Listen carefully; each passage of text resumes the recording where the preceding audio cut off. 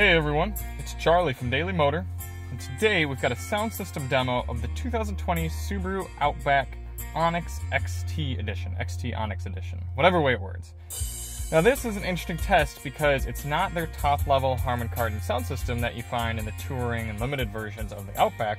No, no, this is the base, well it's not technically base. The base system in the base Outback is four speakers. This has six speakers. They don't tell you what the wattage is, but it can't be great. But it's kind of cool to test a system that's not the top end system and kind of see what your average Subaru Outback is going to have. So this is going to be a full in-depth review of the sound system. We're going to take a look at the infotainment display. We're going to take the car out on the road, listen to what the sound levels are like, listen to some sample tracks, and I'll give you my impressions at the end. So before we get started, let's hop out, take a quick look at the vehicle. So this is kind of middle trim for the Subaru Outback here in 2020, but it does come with their top level 260 horse 2.4 liter turbocharged boxer motor. Price is coming in around $34,000, maybe 35 for this exact vehicle. It's been nice to drive it, just got a few fatal flaws, mostly the transmission. If you want to see a full review on the car, check out the link in the description when it goes live. Now let's go around and take a look at speaker locations, which will be easy because there's only six. So we've got one, two up top, three fours in the door, then five, six in the second row, and that is it.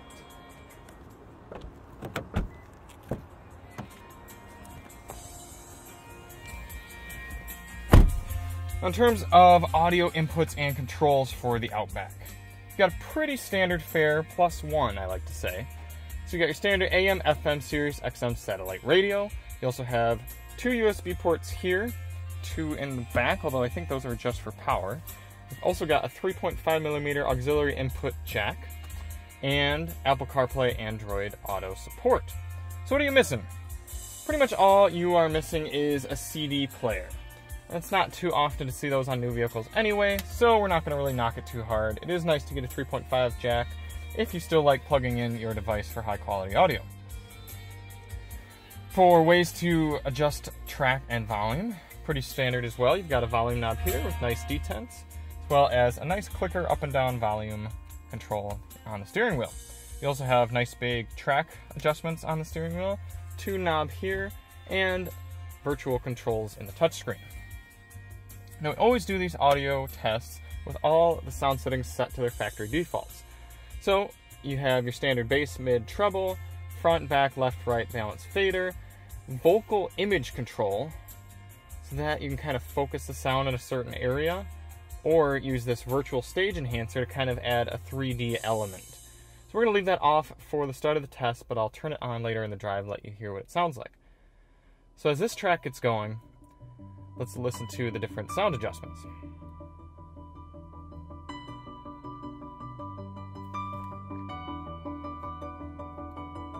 I should mention we've got a USB stick with uncompressed WAV audio files plugged directly into the system, as well as two high quality binaural microphones in both of my ears, giving you the most realistic sound system experience on YouTube.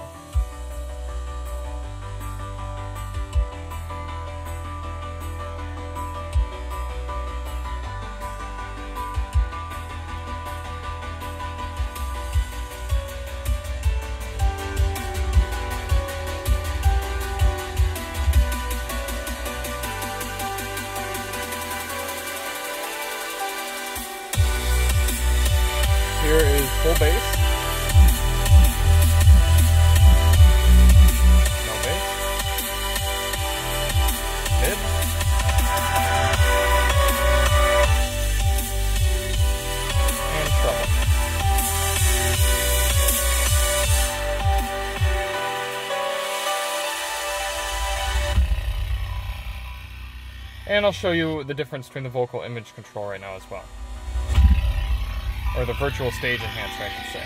Here's off, high,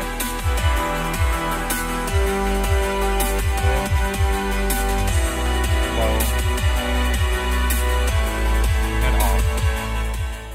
That's not the best 3D sort of virtual sound in any car, but it's also not the worst. Let's fire up the car here, get the AC going a little bit, and get on the road. Keep the fan speed low for you guys so it doesn't interfere with the music too much.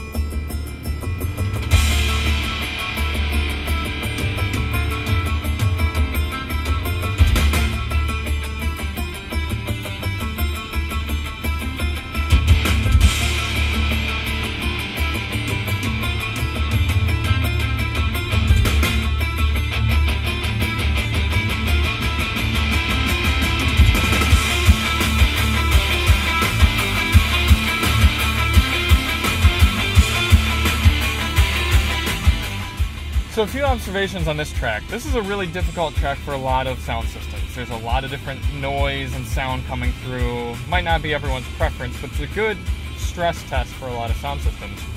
And this being just kind of the middle to low range audio system in an Outback, it's handling it pretty well. But what you really can pick up on with this song, and you'll notice it in some of the some of the other tracks you listen to as well, they're really over boosting the mid-range bass and there's absolutely no low end bass. You're not really going to hear much of the lack of low end bass in a song like this, but you can hear the, the bass drum hits are coming through really strong. Take a listen.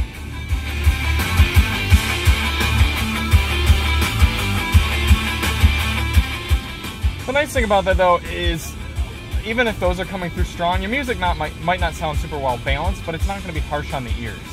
What what really gets hard with, is when cars have kind of the mid treble too high, that really hurts your ears when you start to turn the music up. This car, it's missing a little bit on the high end, yeah. I mean, there's no good tweeters in here or anything, and it's missing the really low lows. But I'm actually impressed that it's not worse. Let's listen to one more track here, then we'll get up on the highway. We'll kind of get an idea for what the car sounds like at 70 miles per hour, and we'll wrap it up.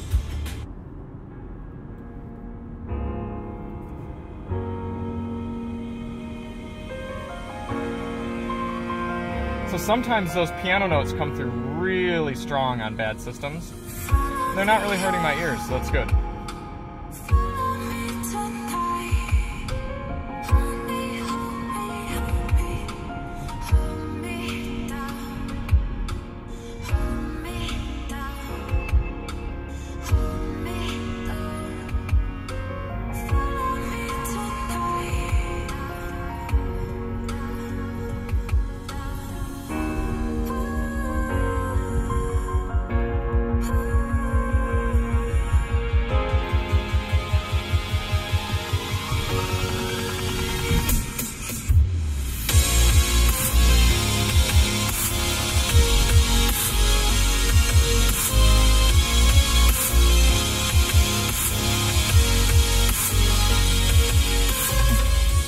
Been in inexpensive systems and expensive sound systems where when this drop comes in the song, you have to turn the radio down because it just hurts your ears.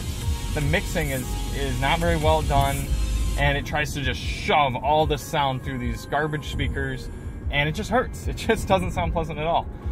This system isn't going to blow you away or anything and it's not really bringing out the, the nuances to any of these songs but none of it is offensive and none of it is harsh. And I think Subaru did a really good job not just ignoring the tuning on the system and doing the best they could with whatever speakers they chose. Let's listen to the drop one more time.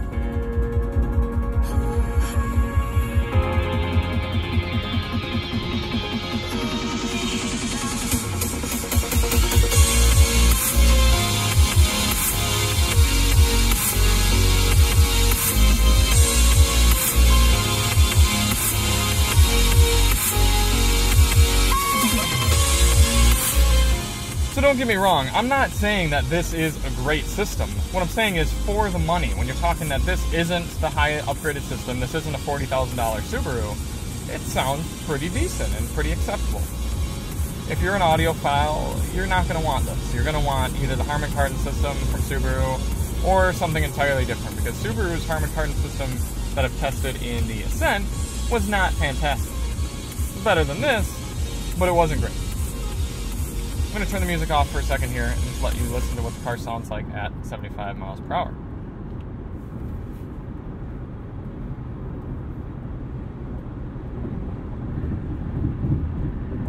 It's quite good. It's one of the merits of the Subaru Outback. It's refined, not a lot of road noise, not no engine noise, wind noise is pretty good. When you're talking $35,000, very capable utilitarian all-wheel drive vehicle, it's really good. So to wrap things up, if I had to give an objective rating to the six speaker system in the Outback here, Outback Onyx XT, uh, I'd give it about, a, oof. I was gonna say five and a half to six, but then I remembered this screen. it's not very good. It's got lag, especially when you first start up the system for the first few minutes you're using the vehicle. It's not super intuitive. The buttons are at least pretty decent and easy to press, but it's lacking a lot of physical controls. So for that, I'd probably put it at a solid five. Just talking audio quality, maybe five and a half. Then subjectively speaking, like I said, when you factor in the price, when you talk about this class of vehicle, what it's capable of, I'd bump the rating up to about a six. It's no system that's going to make you write home about, but if you're not a huge audiophile, you'll be plenty happy with this system. The only songs it really misses out on are really complicated rock and orchestral sort of music and uh, heavy bass hip hop. You're not going to get those low, low basses that are really satisfying. But if you just like to listen to the radio, casual music, it's certainly passable. Anyway, I hope you guys were able to get a good impression of the six speaker system here in the Outback. You want to know more about the vehicle, check out our full review. That link will be in the description when it posts. Please hit that subscribe button if you enjoyed. It really helps us out. Check out some of our other reviews. I'm Charlie from Daily Motor, and as always, drive on.